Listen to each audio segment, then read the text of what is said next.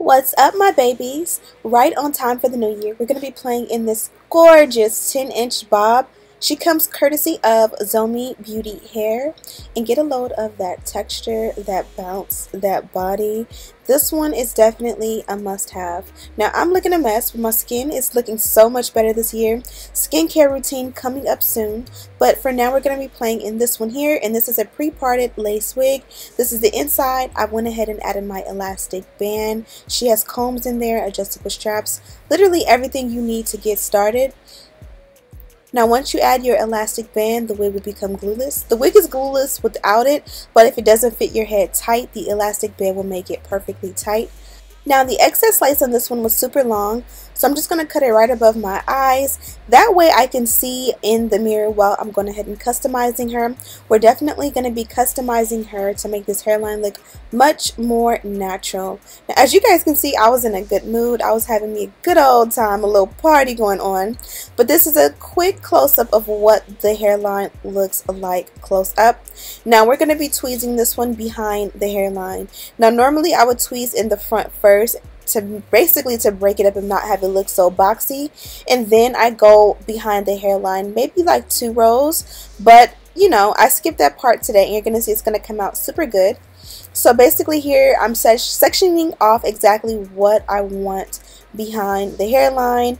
And basically this is pretty much going to be what I'm going to use as baby hair. But first we're going to go ahead and make it look a lot more natural. So I'm going to take a pair of tweezers and I'm just going to have at it now you guys did see I went ahead and wet it down. Now you don't want it super duper wet, but you just kind of want to moisten it so that it's easier to number one see exactly where you're tweezing and number two it just for some reason makes it so much easier to pluck the hair out. Now, I'm so sorry. I was kind of out of frame, looking down too far. I should have been um, a little bit more in position with the camera. So I did cut a little bit of it out, but you guys get the picture. I'm just going against the grain and tweezing the hair backwards. When you tweeze the hair going in this motion, those hairs that you pull out are going to pretty much rest and lay in the remainder of the wig so that when you go ahead and brush and comb the wig out, you're going to see all this hair in there. You can see the left side versus the right side and you can definitely see that we're making so much progress and making this look super duper duper slayed. So I went ahead and pulled the hair back just to make sure everything looked right and there was no bald spots. Especially when you're new to this, it's very, very, very important to stop every so often and check your work just to make sure that you are doing your wig justice and you're not making any holes in the lace and you're not making any bald spots. I really like the way this sort of mimics like a nappy hairline a little bit, the way I did it so that it looks more textured and not just so silky in the hairline. Basically how my hairline will look or similar. Now I'm just taking a razor blade and I'm cutting the baby hair um, how I want it. Normally I would go much shorter. I probably would go back in this one and cut it definitely much shorter. I find that when you make it super duper duper short, it's when it looks most natural. And basically, um, off camera, I went ahead and tweezed the other side just to make it match. And I made the baby hair. Now, I'm pleased with the way this looks. You can definitely go in even more. I probably will go in even more, but this is great for the sake of this video. I went ahead off camera and added my bonding agent to my hairline. In this one I used the Got2b Glue Free Spray. I let it get tacky for about 15 seconds and then I went ahead and applied my lace right on top and it secures the wig without using any glue. It's just a hairspray like any other and as soon as you wet it, it'll come right up. So now we're going to go ahead and comb out all that hair we tweezed and you're going to see all that hair it's not because the wig is shedding, it's because we tweezed all the hair and it was resting in the wig. As I said before. Now if I did not mention, this one is 10 inches and I find that 10 inches is the perfect length to not rest too much on my shoulders but not be too short at the exact same time. Now I'm going to even up my parting and make it exactly how I want it. You want to line up your parting to match with your nose. The center of your nose is basically where the center of your part should be.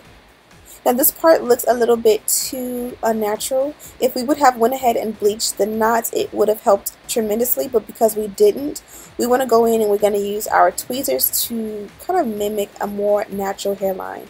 There, I thought I made a hole. I didn't, but it's very, very, very easy to make a hole, especially in the parting with tweezers. I've done it a million and one times, and not today, sis. You have to be very, very careful.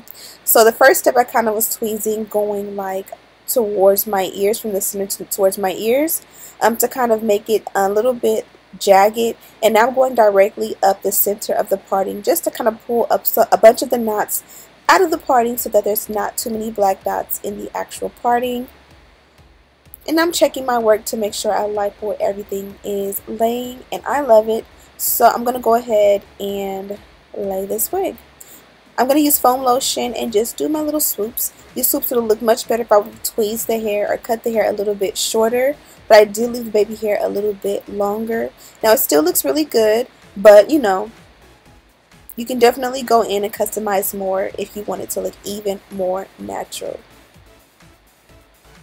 If you new if you're new to this, I would highly recommend that you do it that first time as I did it and then you kind of style it and just wear it around and just see how you feel about it and then go back in, you know, in a day or two and kind of redo it to, you know, make any more modifications that you like. But if you're new, I definitely wouldn't recommend trying to get it all 100% right the first time because that's where you may make the mistake of over tweezing or something like that. Now we're going to go ahead and heat up the hot comb this one, I finally found one that I love. I found one on Amazon and it wasn't as hot. I found another one at a hair store and I accidentally burned it. So this time I have the perfect one. This one heats up to 500 degrees. I have it linked down below. It gets extremely hot and it gets the job done. Now it seems like it's not making a huge difference, but trust me, it made a huge difference. You guys see how much body this wig has? It's amazing. I like to just go around and press. It really doesn't make a, as big of a difference in the length of the hair as much as it does in like the crown of the hair. But I still do it and it just gives me such an amazing finish. So I'm definitely feeling myself and loving the results. Now off camera I went ahead and reparted the center and I went ahead and pressed it with the hot comb. I'm so mad I did not get that on camera because it made such a huge transformation. If you rewind back into when I first made the party to this, this looks like natural hair and the flat iron or the hot comb rather was the secret weapon. I'm so mad I didn't record it, but this looks amazing, especially considering the fact that we did not bleach any knots or do any kind of witchcraft. We went ahead and just literally, literally tweezed it out a little bit and then we went ahead and used the hot comb. Now off camera I went ahead and beat this face and we're going to add the powder to the parting to match my skin complexion. This is just a foundation powder. Use whatever foundation matches your skin perfectly. If I did not mention, this is 100% Remy human hair. The texture is Brazilian. Um, the lace is a medium brown lace. And also the texture is silky straight. Sorry, I had a brain fart. Um, the natural hair color works great. It's not too light. It's not too dark. Sometimes I feel like when you get natural brown, it's like a light faint color. And this one was not at all. I went around and I flat ironed the hair all the way around just to kind of bump it at the ends. And it came out amazing. With a bob this length, be sure not to bump it too much. You don't want it to be like too comfortable on your face where it kind of looks like Dora.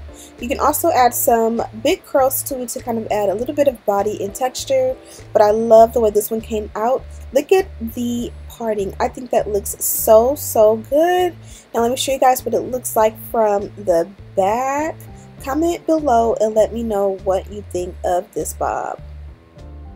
Amazing! Okay, so I am back. This one was definitely super simple and easy. 10 inch short bob. It's a nice, you know, healthy silky texture.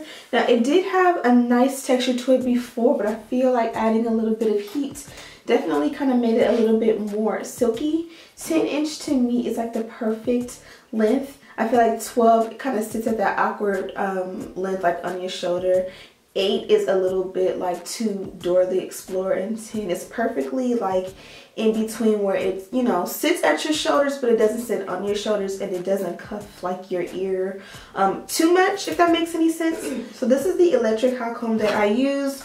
Definitely a great one. Um, it's just an on and off button and it doesn't um, adjust if that makes any sense but she's really really really nice um she's up she goes up to 500 degrees which is really really really hot so definitely i'll have her i'll have this and everything i use linked in the description bar I definitely have this one linked in the description bar for you to purchase. And don't forget to subscribe, like this video, and share with your friends. And as always, I'll see you in the next one.